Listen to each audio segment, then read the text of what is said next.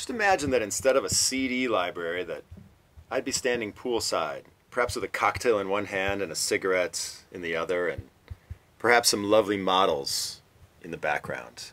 Today we're talking about Bryan Ferry on Teenage Kicks, this week's featured artist, in particular an era in the mid 70s when he was one of the great rock stars out of the UK.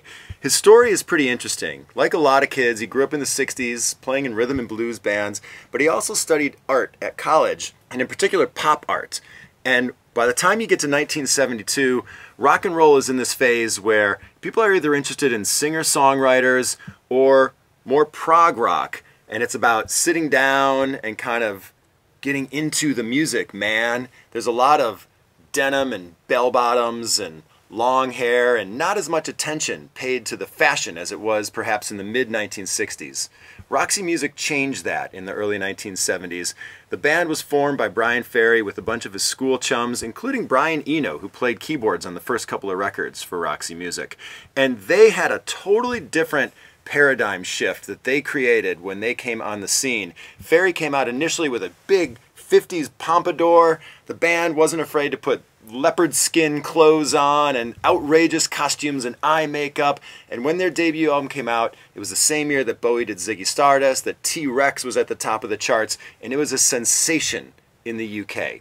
It mixed art rock with almost a love or a pastiche of 50s R&B music. And that was the direction then that Bryan Ferry went further into when he started making solo records. He put a lot of covers on his early solo records and he reinterpreted them in a really interesting way with his deep voice and just his persona. Sometimes amidst all the carnage and chaos that was going on around him, he would dress up pretty sophisticated.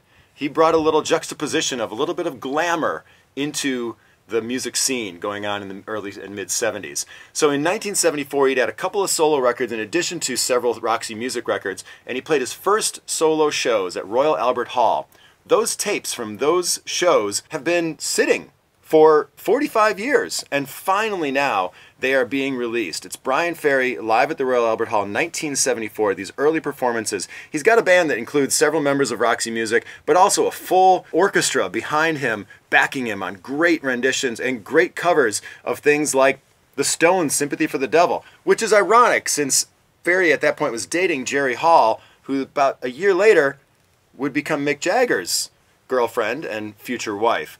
And he also does great Dylan covers. He does classics from the 30s. He does a couple of Roxy Music uh, songs as well. It's an amazing document that is only now seeing the light of day.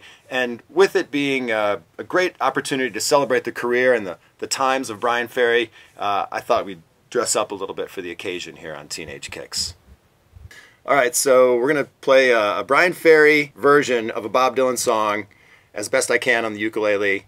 And I think Bryan Ferry would appreciate the cop shades. Where have you been, my blue-eyed son? Where have you been, my darling young one? Well, I've stumbled in the side of twelve misty mountains. I've walked and I've crawled on six crooked highways. I've been out in front of a dozen dead oceans. I've 10,000 miles in the mouth of a graveyard. It's a hard, and it's a hard, it's a hard, and it's a hard, and it's a hard rain. It's gonna fall. It's Bryan Ferry this week on Teenage Kicks on the Currents.